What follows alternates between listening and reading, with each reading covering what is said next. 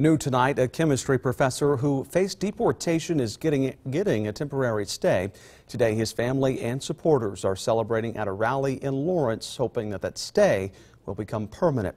Syed Ahmed Jamal arrived in the U.S. legally in 1987, but he overstayed his visa after pursuing a doctoral degree.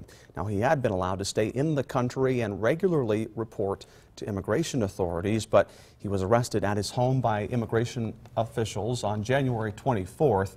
After public outcry from the arrest, people are now celebrating the temporary stay, although it's not clear how long the stay will last.